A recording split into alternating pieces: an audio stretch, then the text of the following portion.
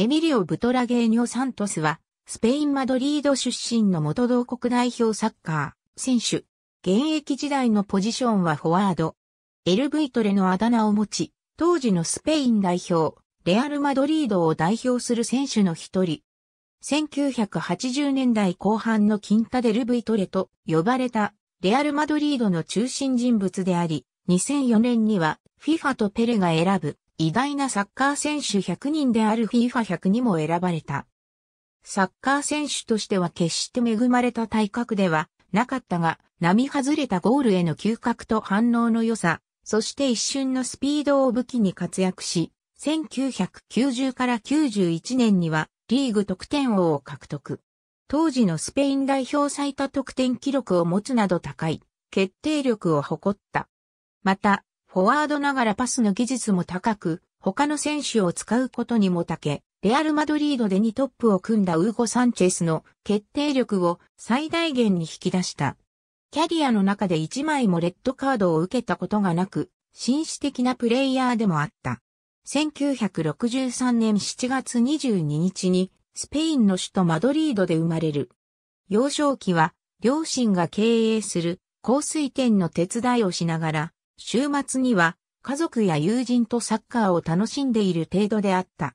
15歳の頃、学校のサッカーで活躍したことをきっかけにアトレティコ・マドリードのトライアルを受けることを勧められる。アトレティコ・マドリードとの契約をする直前、レアル・マドリードのジュニアチームの監督をしていた家族の友人にテストをするため結論を伸ばすよう説得された。そしてテストの結果レアル・マドリードと練習生の契約を結んだ。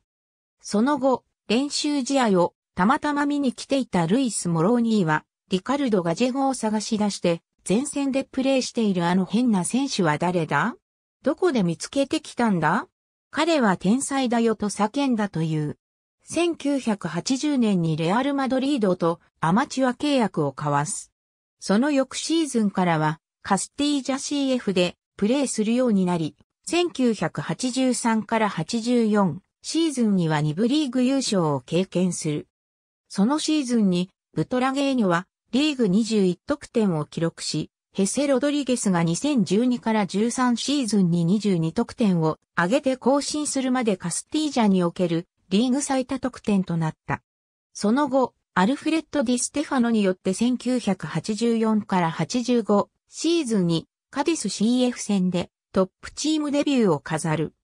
2から0でリードを許した状態で、サンティラーナとの交代で後半から出場したブトラゲーニョは、デビュー戦で2ゴール1アシストを記録しチームの逆転勝利に貢献した。キンタデル・ブイトレの5人の中では、マヌエル・サンチス・オンティジュエロ、マルティン・バスケス、ミゲル・パルデサに次いで4番目のデビューであった。1985年からは加入したウーゴ・サンチェス強力なツートップを形成、キンタ・デル・ブイトレの中心として、リーガ5連覇など数々のタイトル獲得に貢献。個人としても1985年、1986年と2年連続でブラボー賞に選ばれた。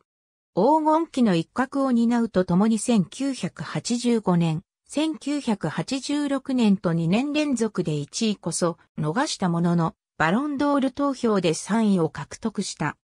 レアル・マドリードでは、フアニートが出場している試合は、背番号8番などを着用していたが、フアニートの移籍後は、背番号7番を継ぎ、その後、フアニートと並ぶ、背番号7のアイコンの一人となった。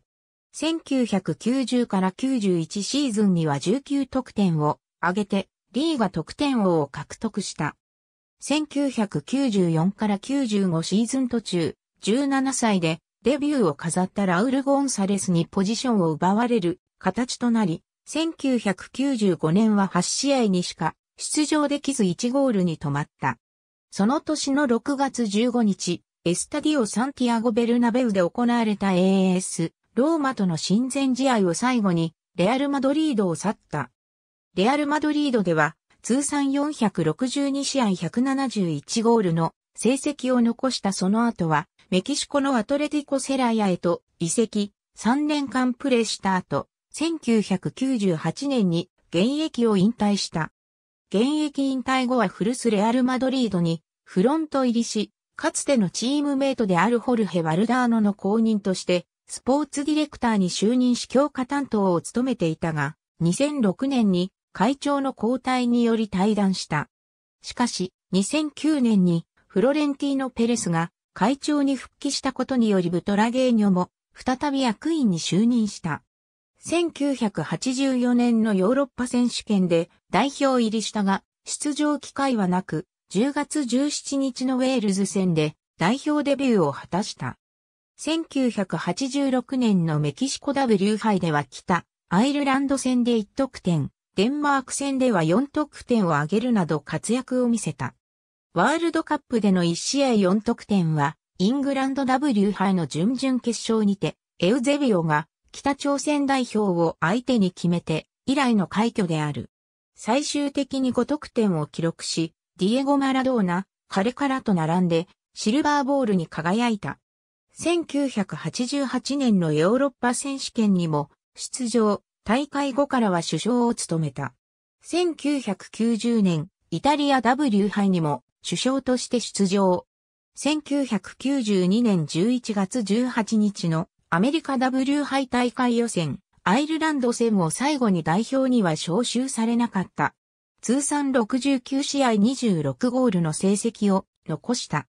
1コパデルレー、スーペルコパデエスパーニャ、コパデラリーガ、2 UEFA カップ、UEFA チャンピオンズリーグ、UEFA カップウィナーズカップ。ありがとうございます。